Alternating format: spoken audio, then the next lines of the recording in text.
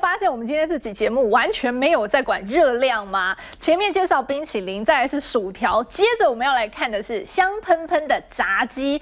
炸鸡到底要怎么样才炸的好吃，可以多汁皮又脆呢？但您看到，首先就是呢，它的炸的温度呢要控制在摄氏一百五到一百九十度之间，而且呢也不可以炸太久，避免会产生脂肪酸氧化的臭味。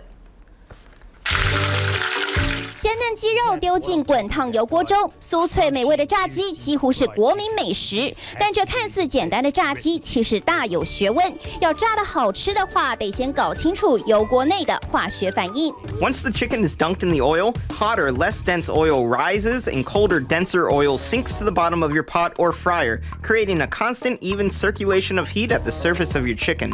That's called convection. 透过热能对流才能将鸡肉给煮熟。其实现在使用油炸锅，多半能将油的温度控制在摄氏一百五十度到一百九十度之间。而每次一把鸡肉丢进油锅中会浮出的泡泡，也是能让炸鸡保持酥脆好吃的关键。These rapid fire bubbles create an important steam barrier that blocks the chicken from absorbing too much oil, which helps maintain that crispy crunch.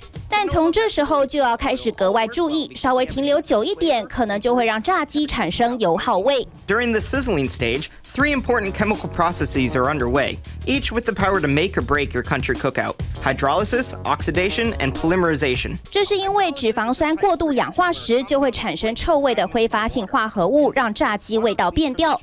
另外，也要有新鲜清澈的油，才能炸出好吃的炸鸡。Just like you want to change your oil in your car every so often, you also want to change your frying oil to avoid any unpleasant flavors and odors. You can spot old oil at home by looking out for foaming, smoking, deeper colored oil, or the musty, fishy smell of free fatty acids. 另外，也有人会在炸鸡的面衣上加入抗氧化食材，帮助维持鲜嫩口感。Add some spinach powder or ginseng extract to your batter. These plants have a high quantity of antioxidants like vitamins A and C that will help block the oxidation process. 不过讲到炸鸡，就得提到现在很夯的韩式炸鸡了。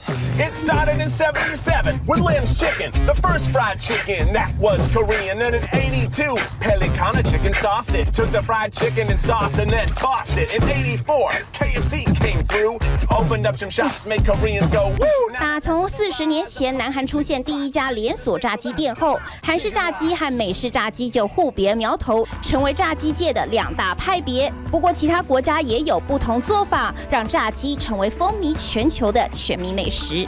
TVB 新闻综合报道。